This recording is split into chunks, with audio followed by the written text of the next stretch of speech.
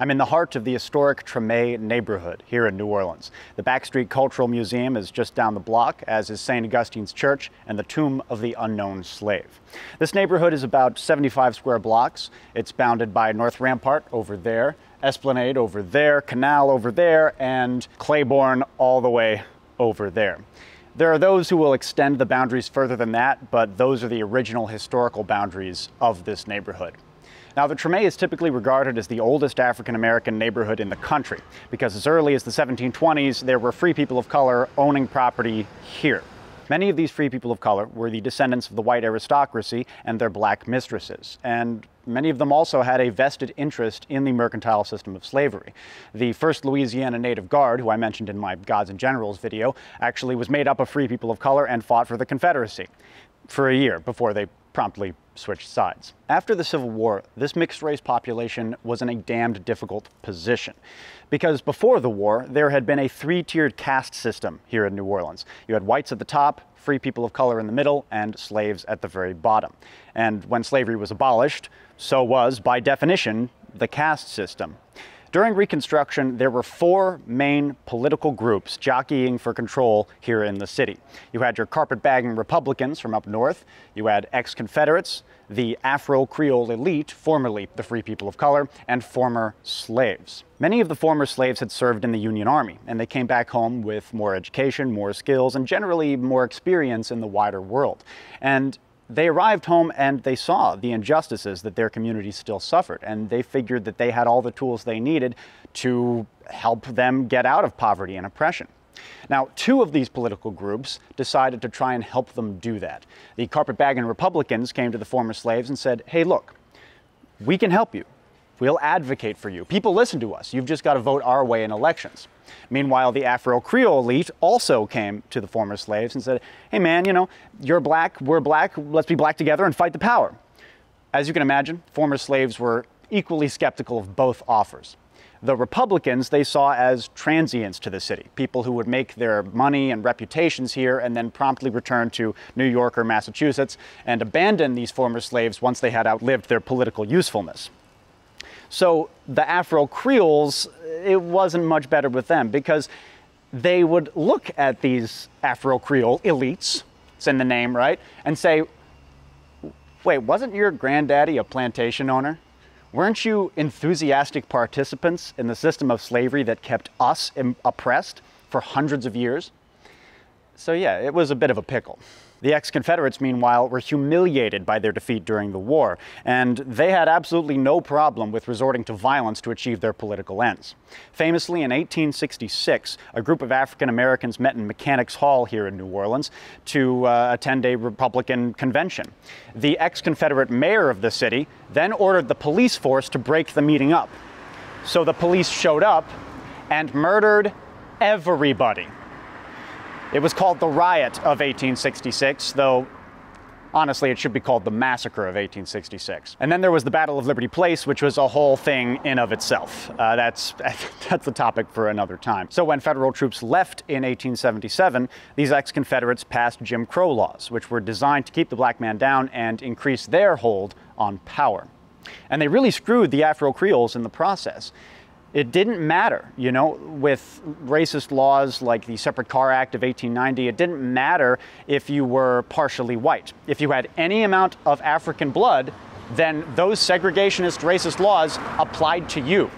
So here's the white man, think about it. Here's the white man coming up to you, who, and he's, by the way, your second cousin. And he says, It doesn't matter that you think you're privileged. It doesn't matter that you were educated in Paris. It doesn't matter that you come from a white aristocratic family. You're black you're just as black as the son of a freed slave. As you can imagine, these Afro Creoles did not take this lying down, and it was those mixed race Americans, largely based here in the Treme, that kickstarted the first civil rights movement here in the United States, which culminated in the infamous landmark Supreme Court case Plessy versus Ferguson in 1894. But this wasn't just a Creole neighborhood. The slaves of the Treme and their descendants made a huge impact on American history and culture. The Treme, specifically Congo Square, is the birthplace of jazz. And during the first couple decades of the 20th century, jazz was really nurtured in the legal red light district here in New Orleans, Storyville, which is just a couple blocks upriver of here. That early jazz was incredibly filthy. I mean, if you're playing in brothels for tips, you really have no incentive to change your music up. And people would basically simulate sex on the dance floor. The lyrics were super explicit. There's even been some speculation that the word jazz is derived from a slang term for male ejaculate. I'll let you guess which one. Those early days of jazz were the golden era of the Treme, but after World War I, this neighborhood got hit by a one-two punch. In 1917, the Army and the Navy demanded that Storyville be shut down. They deemed it as a negative influence on military personnel. I really couldn't see why, to be perfectly honest with you. Uh, to their credit, the city government resisted, but in the end, they really had no choice but to shut the place down. Uh, and after that, money just stopped coming into the neighborhood like it once did. Then in 1919, the French Opera House on Bourbon Street burned to the ground. That opera house was like the main tourist draw in the city of New Orleans. And so the city panicked and they decided, well, we've got to build a new center for the arts. And they decided, let's put it in the Treme. Trouble was, there were already people living here people's homes, buildings, people living in them. It was a neighborhood. But the city didn't have too much regard for the poor black residents of this neighborhood, so they simply demolished their homes and evicted the people living in them and built the Municipal Auditorium, which is a gigantic eyesore of a building. The irony is that in building this new Center for the Arts, the city displaced dozens, perhaps even hundreds of jazz musicians, scattered them to the wind, never to return. To make matters worse, after they built the auditorium, the city ran out of money and the area that is now Louis Armstrong Park remained an empty lot for 50 years. It was finally in the 60s that they decided to build the Victorian pleasure gardens that are there now, and it was around this time, in the late 60s, that the city delivered the coup de grace to this neighborhood. Now, before this, Claiborne Avenue was the center of African American commerce here in the city. There were hundreds of black owned businesses uh, shaded by beautiful oak trees. It was a spot to hang out, you know, go after church, have picnics, whatever. Well, the city decided to build the I-10 corridor directly over Claiborne, cutting down the trees like the fucking orcs of Isengard.